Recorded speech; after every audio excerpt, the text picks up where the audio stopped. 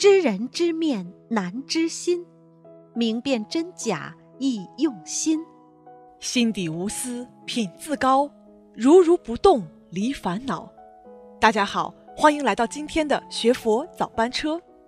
师傅说，一个人如果把你的话记在心里，说明这个人是用心在跟你讲话。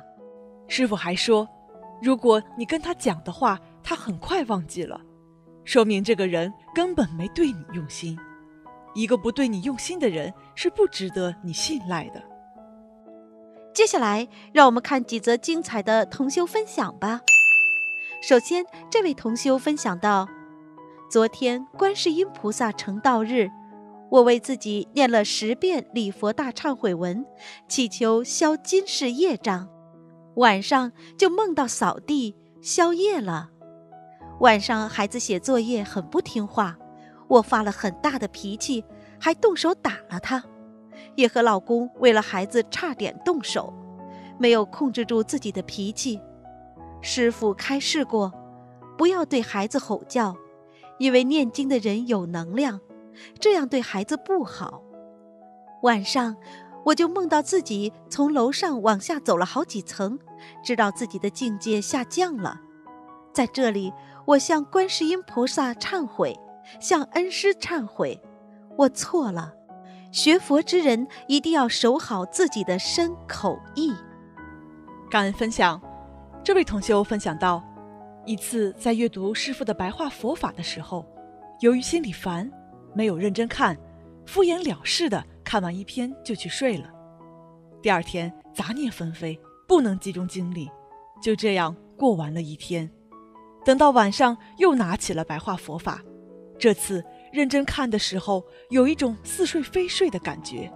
看完一篇，杂念全无，头脑突然清晰，感觉有一股能量把我心中的杂念排除了。感恩大慈大悲观世音菩萨，感恩恩师台长。白话佛法真的有巨大能量，只要认真阅读就能接受到。感恩同修的分享。下面这位同修分享到。先生多年前就有便秘，原来一进卫生间就好长时间不起来，没有规律，严重时要去医院急诊灌肠。还有就是以前经常做饭时割破手指，自从吃素念经放生后，慢慢的都好了。感恩大慈大悲观世音菩萨赐予我们人间这么好的法门和师傅，感恩师傅。感恩分享，这位同修分享到：“师兄们晚上好，告诉你们一个特好消息。昨天和我妈妈聊天，说我爸的高血压现在控制在一百三，以前最好的情况是一百五六。知道为什么吗？我把水烧开了。我每天给我爸做功课、大悲咒和礼佛大忏悔文时，都求菩萨消除我爸血压高的业障。”现在终于降下来了，所以师兄们千万别忘了给咱父母念经啊！还有读白话佛法的加持力真大呀！我这几天看见每篇白话佛法都读三四遍。前几天做个梦，现在想起来还恶心。梦境是我收拾垃圾，忽然一大堆潮虫一下子扑我一身，转眼间一个人在我身边一下子都打掉了，影子都没有了。请教东方台说得到加持力了，师兄们努力吧，千万别懈怠，分秒必争，宵夜还债，共攀四圣。分享结束，如果有不如理不如法之处，请大慈大悲观世音菩萨慈悲原谅，同修自己的业障自己背，不让师傅背，不让师兄们背。接下来，让我们一起来听师傅讲一个小故事吧。有一个笑话，说在精神病院走廊里，有一位病人对着另外一个病人，他抱着个鸭子的精神病人，这个对方过来个病精神病人抱了个鸭子，这个病人就跟那个人说：“哎，老兄啊，你怎么带着这么瘦的狗出来散步呢？”抱住鸭子的精神病人说：“你神经病啊！”你看清楚点啊，这是鸭子啊，不是狗啊。但这位精神病人亲密地说：“ 你才神经病呢！我又没有问你，我问的是鸭子啊。”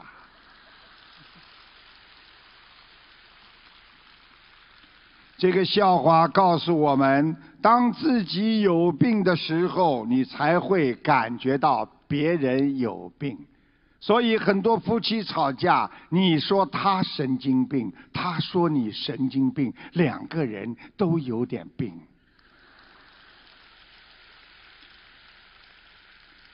当自己想不通的时候，你才会跟别人去争去斗。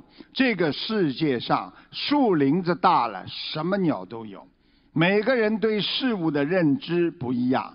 不要指望别人对你的认可，因为自己你最了解自己；也不要去指望别人会陪你一辈子，因为当你生活失去光芒的时候，师傅告诉你们，连影子都会离开你的。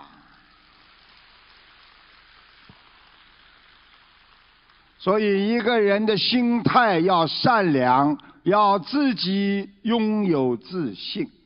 台长告诉你们，一个人心理衰老有两个标志，你们记住了。如果你们知道自己心理衰老不衰老，有两个标志，一个是整天抱怨和后悔，第二个是整天把希望寄托在别人身上。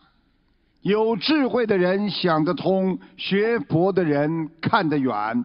人生不就是一吃了之，一睡了之，一骂了之，一笑了之，一走了之，一死了之，一埋了之啊！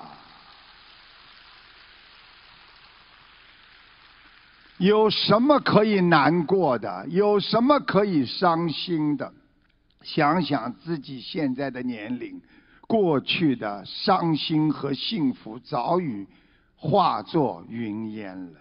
好好的珍惜你现在拥有的，那是你当下拥有的东西，也就是你唯一拥有的。所以学佛修心，海纳百川，有事。不要往心里搁，你的身体才会健康，你的慧命才会去除烦恼，拥有长寿之相啊！感恩菩萨，感恩师傅。在今天节目的最后，让我们再一起听师傅的几句佛言佛语：心有所念，有所现，菩提智慧。在心间，有口无心难感应，内外一如与佛应。好了，以上就是今天学佛早班车的内容。希望每个人都可以元气满满迎接每一天，加油吧，学佛人！嗯，同时也期待明天同一时间与您在这里再次相会。